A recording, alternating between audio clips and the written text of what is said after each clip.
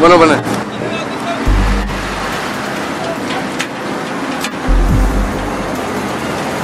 Waxaa mar qura isbedelay jawiga magaalada lowyacaddo kadib markii uu khilaaf xoogani ka dhex qarxay iskaashatada gaadiidleyda ee tawakal iyo maamulka gobolka salal iyo kan degmada lowyacaddo shirkadda gaadiidleyda ee tawakal ayaa ah ku dhowaad boqol iyo lixdan gaadhi oo iyagu iskaga kala goosho dalalka somalilan iyo jabuuti kuwaasi oo qaada alaabaha kala duwan ee xamuulka ah ee u kala gudbo dalalka jabuuti iyo somalilan isku soo wada duub oo isku dhacan u dhexeeya shirkadda gaadileyda tawakal iyo maamulka gobolka ayaa waxa uu ka dhashay afar gaadhi oo aan ka mid ahayn shirkadda gaadileyda tawakal oo aan haybtooda la garanaynin balse ay maamulka gobolka salal ka soo qaateen waraaqo ogolaansho ah oo ay kaga rari doonaan alaabo xamuul ah kastanka magaalada lowyacaddo ee gobolka salal sida ay noo sheegeen qaar ka mid ah mas'uuliyiinta iyo dirawallada shirkadda gaadileyda ee tawakal waana kuwan iyaga oo ka cabanaya mas'uuliyiinta kala duwan ee maamulka gobolka salal oo uu ugu horreeyo barasaabka gobolkaasi salal waxaana hadalladoodii ka mid ahaa.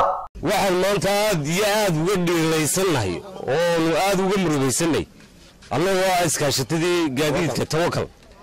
Gaadiidkayagii iyo maamulkayagii oo midba meel kontarool iyo isiin kastam ilaa lowyacdo ilaa saylac ilaa geerisa lagu xidhay.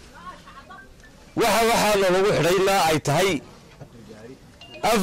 baabuur aan iskaashatadaa ku jirin oo maamulka kastamka uu lagu khasbayo lagala keenay oo isku hayb yihiin. Madaxweyne iyo maamulka iyo wasiirka. Arrimaha gudaha. Waxaanu leenay waynagii ku ololaynanay inuu sharcigu sarreeyo sharcigii ha lagu dhaqmo. Sharcigu ha sarreeyo waxa naloo siiye waraaqahan. Waxaanu leenay liisan. Waxaan sanad kasta bixinaa cashuur gaadiidka iyagaasu meel kale kama shaqeeyaan. Aan ahayn lowyacadde ilaa hargeysa. Halkiibaa maanta aanu sharciga u haysanay ee aanu nidaamka u samaysanay ee gaadiidka iyagii oo dhami ay ka wada shaqaynayeen malnuun qabiil iyo cid somalilan oo dhan baan ka wada koobannay. Waxaan wasiirka arrimaha gudaha wasiiru dowlaha arrimaha gudaha madaxweyne ku-xigeenka madaxweynaha waxaan ka codsanaynaa in arrinkayga si daksaa loo soo galo. Waxaan ka hadlaynaa oo ka cabanaynaa maanta iskaashatada tawakal haddaan nahay.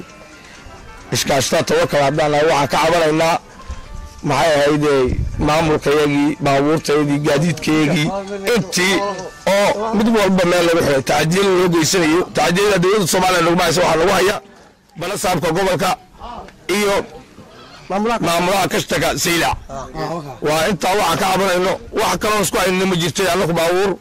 Shacab baan nahay baabuur shacabna khasab baa ku rari buu leeyahay. Iyo maamulaha kashtaga iyo balasaab ku leeyihiin.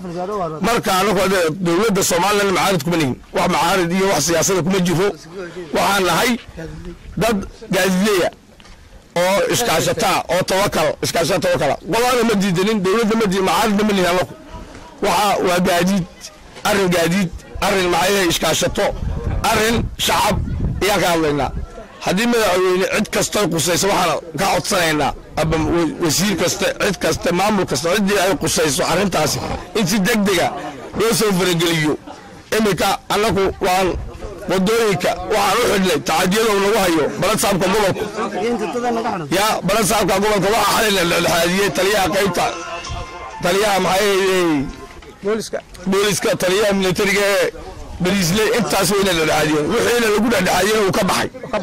Waxa liya wixiina lagu dhexdhexaadiyena uu ka baxay. Marka waxaan leenahay cid kastoo qusayso waxaana loo keenay wasiirka arrimaha guduhu warqad ka socota.